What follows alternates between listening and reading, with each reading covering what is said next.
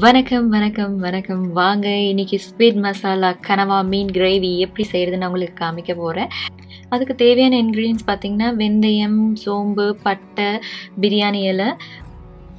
இப்போ பார்த்தீங்கன்னா நல்லா கழுவி எடுத்து வச்சுருக்கேன். இந்த கனவா மீனில் வந்துட்டு மஞ்சத்தூளும் இஞ்சி பூண்டு விழுது அப்புறம் மிளகாத்தூள் இதெல்லாம் போட்டு கொஞ்ச நேரம் ஊற வச்சுருக்கேன். அது கூடவே பார்த்தீங்கன்னா நல்லா கட் பண்ணி வச்ச தக்காளி கருவேப்பில்லை பூண்டு நல்லா தட்டி தான் எடுத்திருக்கேன். வெங்காயம் வந்து ஃபைனாக சாப் பண்ணி வச்சுருக்கேன். மீன் மசாலா தூள் எடுத்திருக்கேன். அது கூட வந்து சாம்பார் மிளகாய் தூள் எடுத்திருக்கேன். நான் இன்னைக்கு வந்து சட்டியில் தான் செய்ய போகிறேன் நல்லெண்ணெய் விட்டுக்கிறேன். நல்லெண்ணெய் விட்டவுடனே நல்லா காயட்டும். காஞ்சதுக்கப்புறமா நான் எடுத்து வச்சிருக்கேன் இல்லைங்களா? வெந்தயம் வெந்தயம் போட்டுக்க போகிறேன் ஸோ வெந்தயம் போட்டதுக்கப்புறமா கொஞ்சம் நேரம் வணங்கட்டும். வணங்கினது உடனே நான் எடுத்து வச்சுருக்க மற்ற ஸ்பைசஸ் எல்லாம் போட்டுக்க போகிறேன்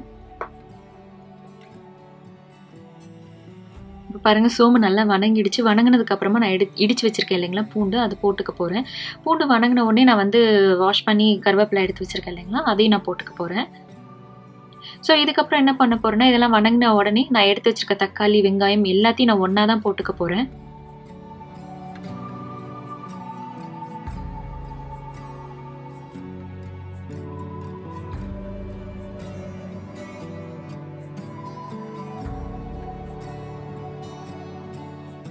இப்போ பாருங்க எல்லாமே நான் ஒரே டைம்லேயே போட்டுக்கிட்டேன். தக்காளி வெங்காயம் எல்லாத்துக்கும் தனித்தனியாக நான் வணக்கல. ஸோ மொத்தமாக போட்டுட்டு அது கூடயே வந்துட்டு நான் எடுத்து வச்சிருக்க ஸ்பைசஸ் இருக்கு இல்லைங்களா? அந்த மீன் மசாலா தூள் குழம்பு மிளகாய் தூள் ரெண்டுத்தையும் ஒரே டைம்லேயே போட்டு கொஞ்சம் தண்ணி விட்டு நல்லா சுண்ட வணங்குற அளவு விட போகிறேன் இது வந்து நல்லா ஒரு மாதிரி செமி கிரேவி மாதிரி இருக்கும். தொக்குக்கும் இல்லாமல் குழம்புக்கும் இல்லாமல் ஏன்னா எங்கள் வீட்டில் இருக்கவங்களுக்கு அந்த மாதிரி சாப்பிட்றது ரொம்ப பிடிக்கும். இப்போ இது நல்லா கொதித்து சுருண்டு வந்ததுக்கு அப்புறமா நான் எடுத்து வச்சிருக்க ஸ்குவிட் இருக்கு இல்லைங்களா? அதை போட்டு நல்லா கிளறி விட்டுக்க போகிறேன் இந்த ஸ்குவிட் போட்டால் ரொம்ப குக் பண்ணவும் கூடாது ரொம்ப சீக்கிரமாகவும் எடுத்துடக்கூடாது கரெக்டான டைம் பார்த்து நம்ம எடுக்கணும்.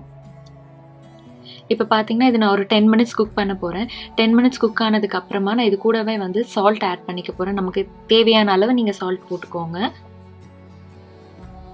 பாருங்கள் இது நல்லா கொதிச்சிருச்சு.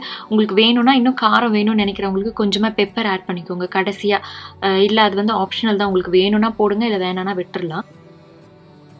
நான் இதுக்கப்புறம் கடைசியாக இறக்கிறதுக்கு முன்னாடி கொஞ்சமாக கொத்தமல்லி தூவி இறக்கிக்க போகிறேன் நான் இப்போ அடுப்பு ஆஃப் பண்ணி வச்சுட்டேன். ஏன்னா செட்டியில் வந்து அந்த சூடு இருக்கிறதுனால அது கொதிச்சுட்டே தான் இருக்கும். ஒரு ஃபைவ் மினிட்ஸ்க்காக அந்த சூடு அப்படியே இருந்துகிட்டே தான் இருக்கும். இங்கே பாருங்கள் அடுப்பு ஆஃப் பண்ணியும் அது கொதிச்சுட்டு தான் இருக்குது ஸோ இப்போ இது நல்லா ரெடி ஆகிடுச்சு இந்த டைமில் வந்து நான் ஒரு பவுலில் மாற்றி எடுத்துக்க போகிறேன் ஸோ பார்க்கவே ரொம்ப கலர்ஃபுல்லாக டெம்டிங்காக இருக்குது வாசனை அதை விட சூப்பராக இப்போ நான் இந்த ரைஸோட வச்சு சாப்பிட்டு என்ஜாய் பண்ண போகிறேன் நீங்களும் இந்த மாதிரி ட்ரை பண்ணி சாப்பிட்டு என்ஜாய் பண்ணுங்கள் தேங்க்ஸ் ஃபார் வாட்சிங் டேக் கேர் பாய்